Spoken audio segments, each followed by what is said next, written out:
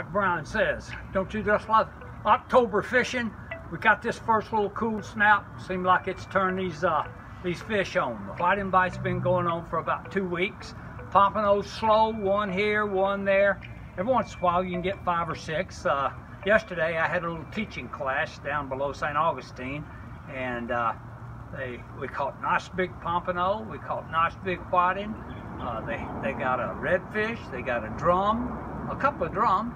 But anyway, catfish, of course, they're still here. Water temps 80 degrees, but if this cold snap comes through, the wind's blowing today, we've got a little northeaster kicked up. Uh, I'm gonna run over to Hannah Park and see if we got some local fish. If the water's clean, we'll have fish. These pompano want clean water. The bluefish are about four pound a piece. Wendell, Wendell's probably got 20 of them he caught this morning, him and his brother. So uh, anyway, now's the time to start fishing. Cool weather's coming, the water temp's dropping, and the fish are here in Jacksonville, Fernandina, St. Augustine.